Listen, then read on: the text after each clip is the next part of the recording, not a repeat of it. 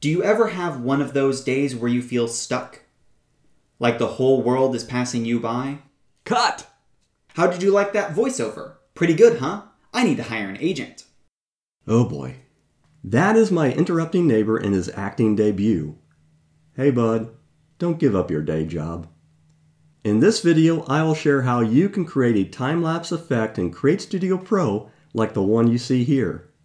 Keep watching and I'll show you how. This is Randy's Tips with another Create Studio Pro tutorial. This type of project takes planning. Look for a background and character actions that convey movement.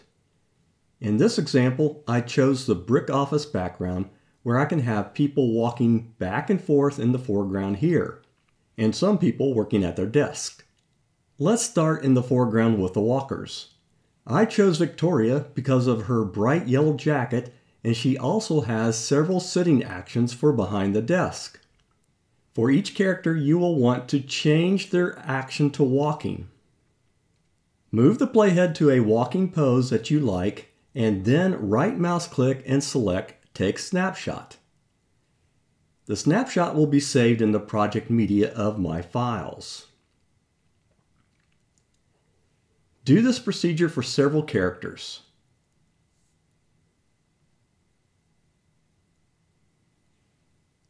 Tip.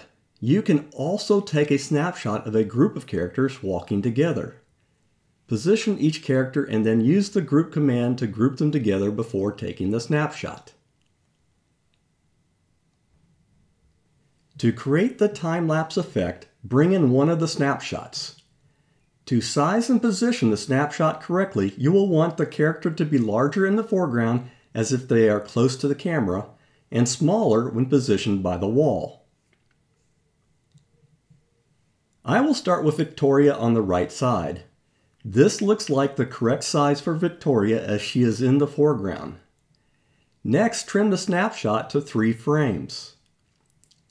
Tip, it will be easier to see this smaller number of frames by extending the timeline by using the timeline size slider at the very bottom. Just click and drag it to the right.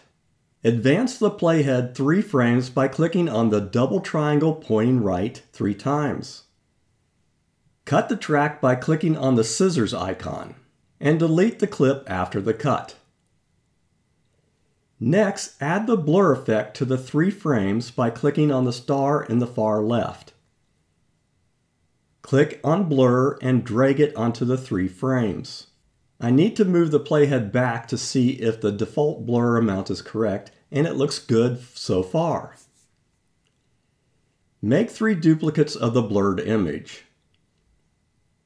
Click and drag the duplicates behind each other on the timeline. Select the second clip. You can tell it is selected with the blue border around the clip and move the character further in the direction it is walking. Do the same for the third and fourth clips, spacing them so it appears she is walking at a constant pace. Tip. When moving a character with your mouse, hold down the shift key will ensure the character only moves right or left and not up and down. I will want to use this sequence multiple times in the video, so I will group them together and rename the group Victoria Walking. To use this group again, Duplicate the group and move the duplicate on the timeline sometime to the right of the original. In this case, I want Victoria walking from left to right, so with the group highlighted, click on the properties in the top right, then click on Flip Horizontally. Let's preview that to see how it looks. Three frames is one tenth of a second, and as you can see, that goes by pretty quick but it does a good time-lapse effect. I will fast forward this part as I repeat the process for the other snapshots.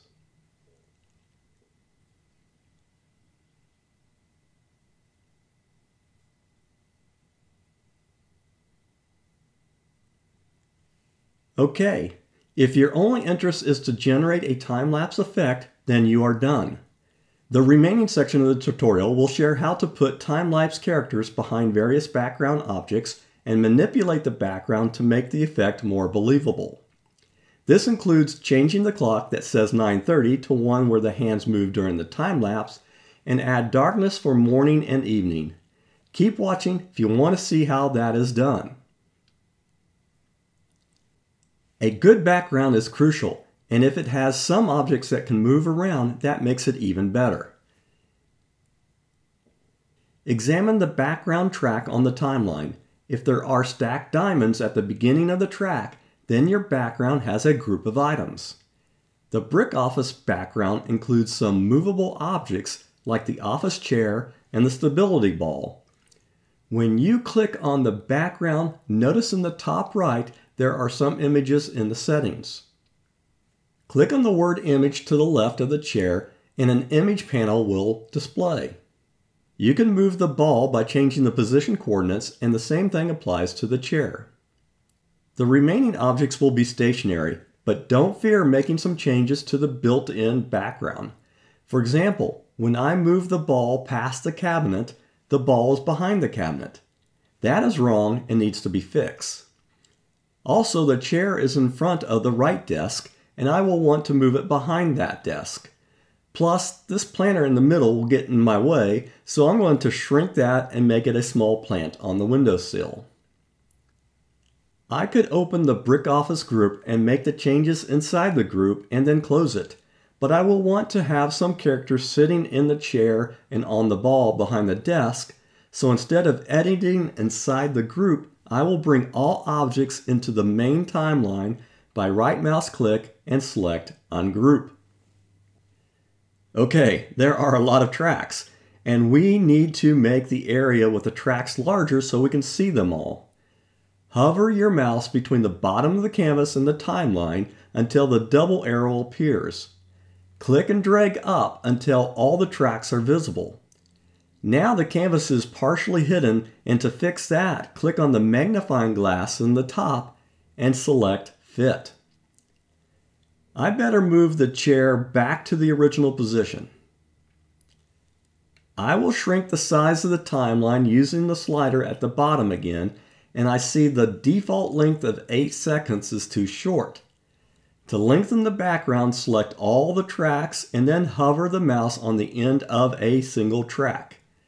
Mouse click and drag it to the right. To ensure the ball is in front of the cabinet, we need to move the ball track above the cabinet on the timeline. We need to add an empty track above the cabinet. To do that, position your mouse on the empty space on the same track as the cabinet. Right mouse click and select Add Track Above. This will provide space for the ball. Now click on the ball clip and move it above the cabinet. To drag the table right clip above table left, insert an empty track below the walking groups and then drag up table right. Now the chair will be behind either table. Another change I want to make is to get rid of the big planter in the middle because I want some characters in that space. So I will resize it and put it on the windowsill. I know I will have characters sitting in the chair and ball seat, so I will need to create empty tracks above them.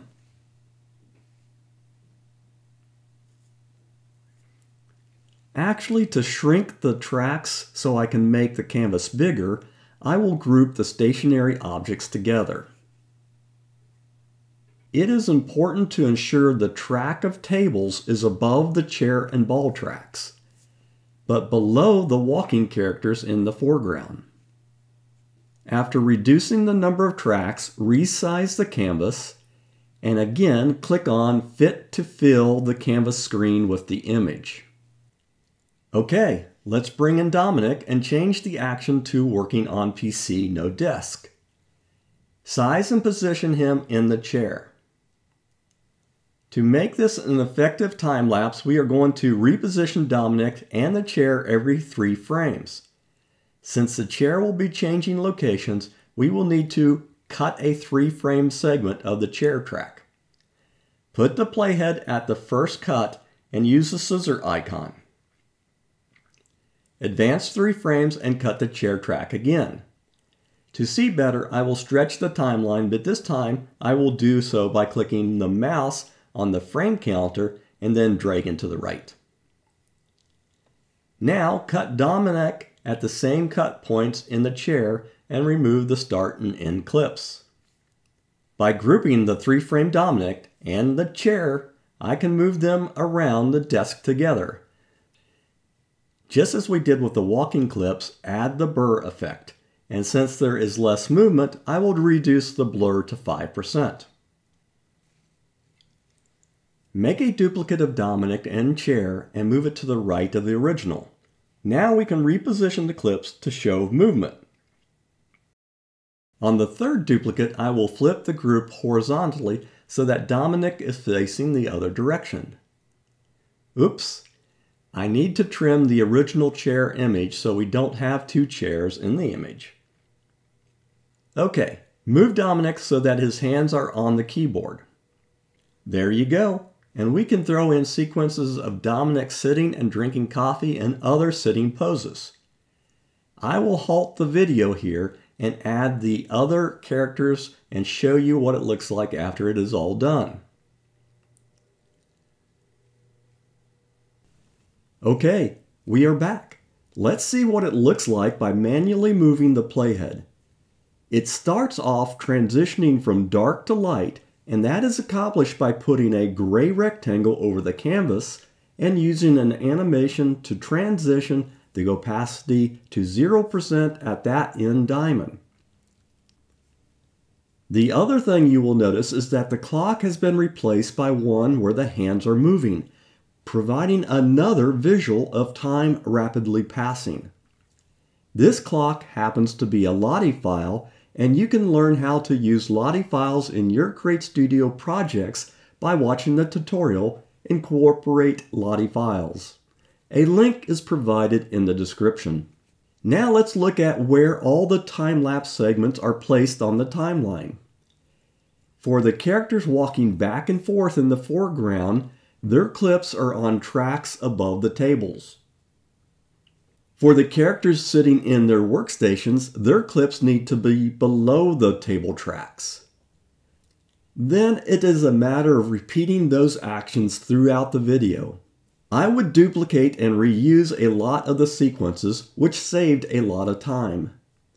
At the very end, I brought back the gray rectangle to dim the office for the evening. There you go. That is how to create the time-lapse effect in Create Studio Pro. Have a good day and happy creating.